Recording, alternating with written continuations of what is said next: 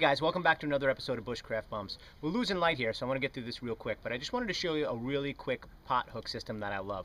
This is an adjustable pot crane, so let's take a look at what we have going on here. All right, so we have a pretty firm stake planted into the ground. Okay, this is our main anchor point. Then what we have is we have a fork stick, which is leading out over the fire, holding our pot. Then last to the fork stick is another fork stick, but held in reverse. All right, so that the crook of it rests is providing counter pressure counter friction to this fork stick. This holds it in place easily over the fire and what it does it makes it adjustable so that we can adjust the, the, pot to whatever height that we want.